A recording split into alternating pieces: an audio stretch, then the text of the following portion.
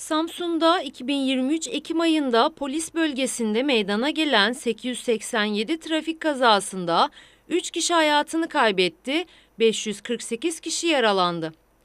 Emniyet Genel Müdürlüğü verilerine göre trafikte kural tanımayan ve tedbirlere uymayan sürücü ve vatandaşlar 2023 yılının Ekim ayında da birçok acının yaşanmasına sebep oldu.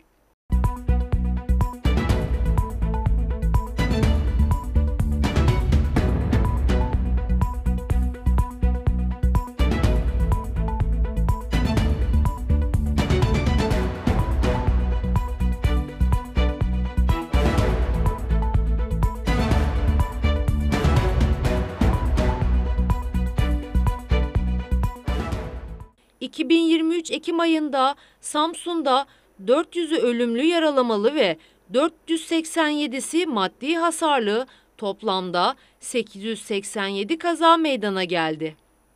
Bu kazalarda 3 kişi hayatını kaybetti, 548 kişi yaralandı.